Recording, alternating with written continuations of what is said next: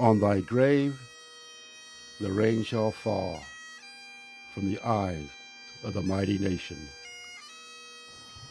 The bravery of our two soldiers, Private First Class Alberto Obod and Private First Class Jalfred Vaquerano with the United States Army, will be memorialized here today. Their lives will be cherished and their sacrifice will be remembered forever.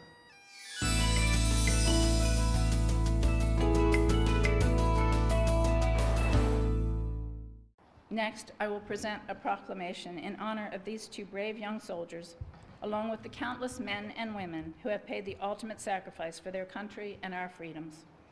It reads, Whereas on Memorial Day, the citizens of Orange County join their fellow Americans, remembering with gratitude and respect the soldiers, sailors, airmen, airmen, Marines, and Coast Guardsmen of the United States Armed Forces who answered the call of duty and made the ultimate sacrifice for the peace of our nation and the world.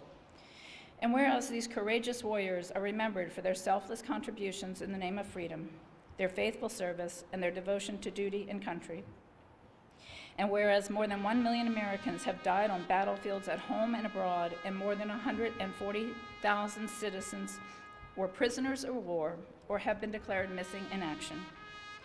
And whereas our country honors the sacrifice of these heroes' efforts to lay the foundations of peace around the world, and we will forever mourn their loss.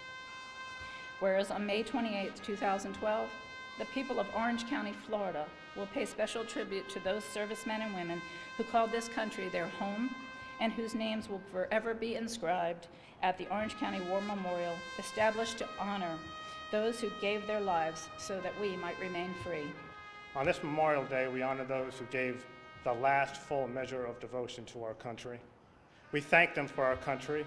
We thank them for our freedom and we thank them for their sacrifice. We shall never forget them nor fail to honor them. As we continue operations in Afghanistan and around the world, I urge each of you to keep our service members and their families in your thoughts and prayers. Those who are serving in harm's way will no doubt endure more difficult times ahead. At exactly 3 p.m. Eastern Standard Time every Memorial Day, we observe a national moment of remembrance. I ask that you pause at that time today and reflect on what Memorial Day means. You know, Memorial Day has just become a holiday, a three day weekend for so many people. And I, especially right now, when almost every night you turn on the news and you hear about some tragedy we have two of our own local heroes that have um, paid the ultimate price in the last year, and their families are here today. And it's so important that their families know that their lives mattered, that we have not forgotten, that we never will forget. That's what this memorial is about. That's why we have the wall here, and that's why we come out every year at Memorial Day and bring the families and the loved ones to, to make sure that they understand that our community values and cherishes their lives and their sacrifices.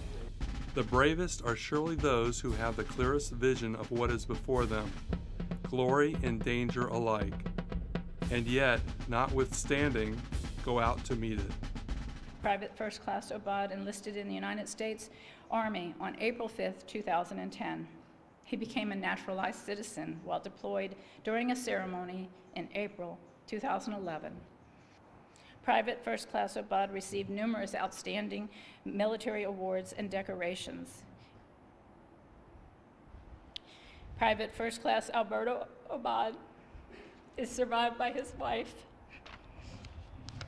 his son, his mother, his father, his brother, and a host of other family members and friends.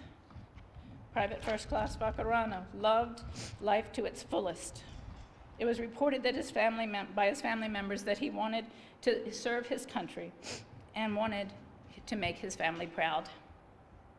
He was scheduled to be married this coming August to fiancee Caden Madden. He is a public servant by nature and planned to become a police officer after returning to his country from the military. Over the years, I continue to marvel at the courage and bravery of these young soldiers. PFC Vaquerano, who volunteered to serve our nation, chose to be in the infantry, fully aware of the dangerous nature of his job. In the words of General Omar Bradley, bravery is the capacity to perform properly, even when scared half to death.